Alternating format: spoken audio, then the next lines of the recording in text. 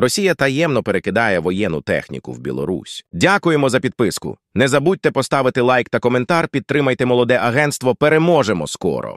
Відомо, що Росія перекидає воєнну техніку, боєприпаси та особовий склад до Білорусії.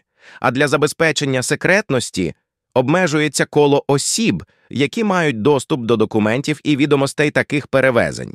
Росія знову перекидатиме до Білорусі ешелони з військовою технікою, боєприпасами та особовим складом ЗС Російської Федерації. Також до Білорусі можуть перекидатися й ешелони з окупованих територій України.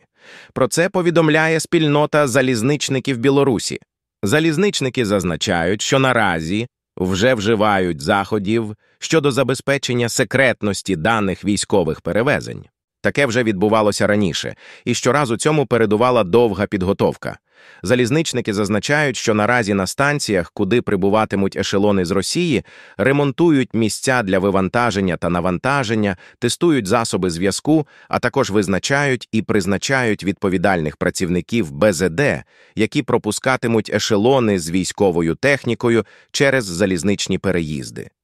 Передбачається, що Білорусь надаватиме вантажні вагони для перевезень тому готуються відповідні проекти договорів оренди та обслуговування вагонів з метою подальшого їх укладення з організаціями орендарями та перевізниками.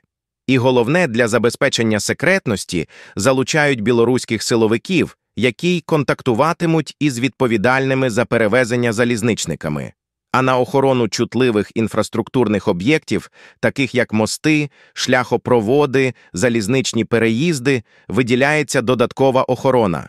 Варто зауважити, що Білорусь є союзником Росії у війні проти України. Зокрема, країна передала російським окупантам велику кількість військової техніки та боєприпасів.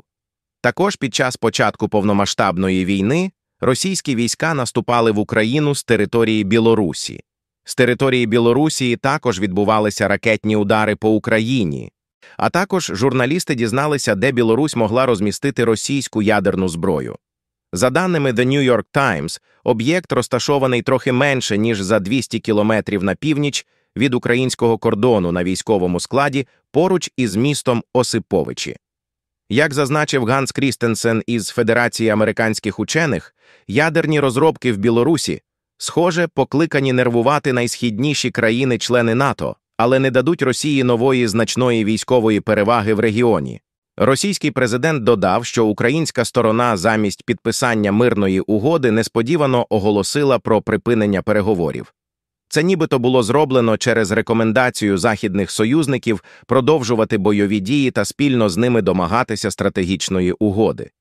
Путін вважає, що головна проблема полягає в надійності будь-яких гарантій. За його словами, Москві доводиться мати справи з державами, керівні кола яких віддають перевагу світоустрою не на основі міжнародного права, а порядку, заснованому на правилах, про які вони постійно говорять, але яких ніхто не бачив. Він додав, що з цими правилами ніхто не погоджувався, а самі вони змінюються залежно від поточної політичної кон'юнктури і інтересів тих, хто їх вигадує. Дякуємо за підписку. Не забудьте поставити лайк та коментар, підтримайте молоде агентство. Переможемо скоро.